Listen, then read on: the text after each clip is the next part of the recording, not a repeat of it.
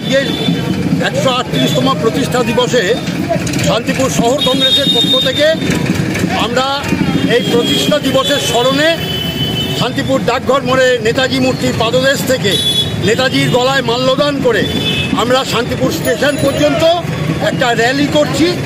আমাদের বার্তা যে দেশকে সুরক্ষিত রাখতে, দেশকে সংগঠিত করতে, দেশের এই দুরবস্থা দূর করতে জাতীয় কংগ্রেসের হাতে হাত মেলান মানুষের কাছে এই আবেদন রাখার জন্য আমরা আজকে এই র্যালি করছি। এই র্যালি ডাকঘর থেকে শুরু হয়ে স্টেশন পর্যন্ত যাওয়ার পথে যত মনীষীর মূর্তি আছে সমস্ত মনীষীর মূর্তিতে আমরা মাল্যদান করতে করতে এগিয়ে যাব। মানুষের কাছে আবেদন রাখব। কংগ্রেসের হাতে হাত মিলিয়ে কংগ্রেসকে শক্তিশালী সংগঠন হিসেবে গড়ে তুলুন শান্তিপুর কংগ্রেসের ভিত শান্তিপুর কংগ্রেসের বুনিয়াদ। আমরা আজকে রাজনৈতিক কারণেই আমরা আজকে ছোট হয়ে গেছি। কবির ভাষায় আমরা হতে পারি দিন, তবু নই মোরা ক্ষীণ। ভারত গগন পুন, উদিবে সুদিন। ওই দেখো প্রভাত উদয়।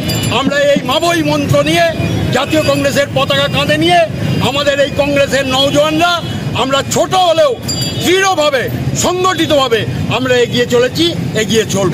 সামনে লোকসভা নির্বাচন এখনও তিন চার মাস দেরি আছে। আমাদের কেন্দ্রীয় স্তরে এখনও কোনো সিদ্ধান্ত হয়নি। আলোচনা চলছে।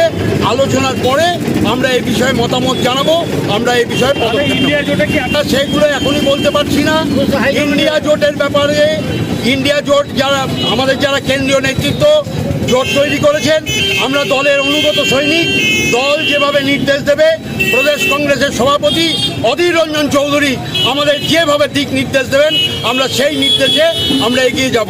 আমরা দলের অনুগত সৈনিক। আপনার আমি অলোক চ্যাটার্জি প্রদেশ কংগ্রেস কমিটির সদস্য নদিয়া জেলা আইএনটিউসি শান্তিপুরবাসী এবং তৎসহ এই পথচারী বা আমাদের আশেপাশে যত জনসাধারণ আছে তাদের কাছে একান্ত অনুরোধ যে আপনারা কংগ্রেসের হাতে হাত মিলিয়ে সংঘবদ্ধভাবে কংগ্রেসকে উজ্জীবিত করুন এবং আগামী দিনে নূতন ভারতবর্ষ তৈরি করুন।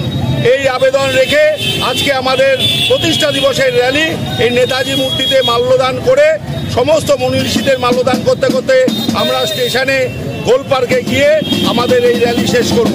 সময় তো সেই আজকে ধরুন এই পরিস্থিতি। অবশ্যই ঘুরে দাঁড়াবে।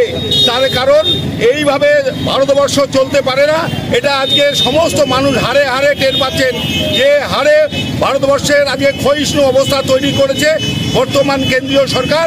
সেই কেন্দ্রীয় সরকারের সেই ক্ষয়িষ্ণু অবস্থার হাত থেকে অবসান পেতে আজকে ভারতীয় জাতীয় কংগ্রেস ছাড়া ভারতবর্ষে আর বিকল্প কোনো কিছু নেই। এটা আজকে সমস্ত বিরোধী দল বুঝতে পেরেছে এবং সেই কারণেই আজকে সমস্ত দল আজকে ইন্ডিয়া জোট তৈরি করেছে। নাম আমার নাম সোমনাথ কুন্ডু সদস্য পশ্চিমবঙ্গ প্রদেশ কংগ্রেস কমিটি।